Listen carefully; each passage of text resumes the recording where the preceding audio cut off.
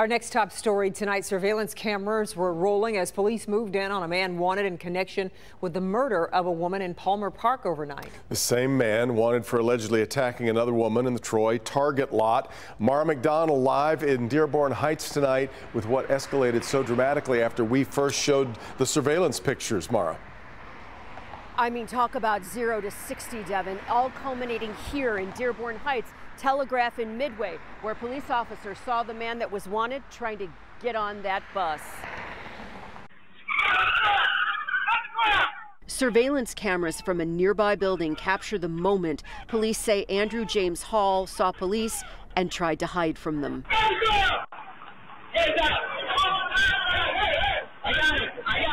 He wouldn't manage to get away. Friday, Troy police say he attacked a woman leaving Target, pushed open her car door, punched her in the face, broke several bones, pulled a gun on her, and only when another shopper started screaming did he take off. Now, we showed surveillance photos from that Target last night at 11. Now, fast forward to early today.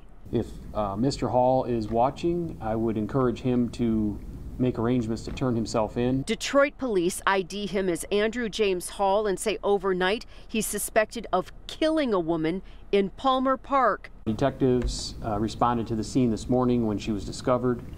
Um, through their investigation, they came upon some video footage uh, that shows the suspect at the scene. DPD put out the Be on the Lookout. How officers caught up with him in Dearborn Heights is unclear. Our sources say Hall was trying to get on a bus when Dearborn police officers moved in. Tonight, the Oakland County prosecutor has charged Hall with unlawful imprisonment, assault with intent to do great bodily harm, attempted carjacking, and carrying a concealed weapon.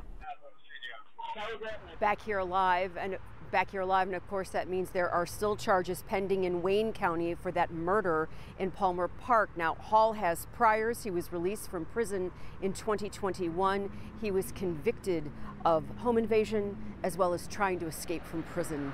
We're live in Dearborn Heights tonight. I'm Mara MacDonald, Local 4. What a turn of events. All right, Mara.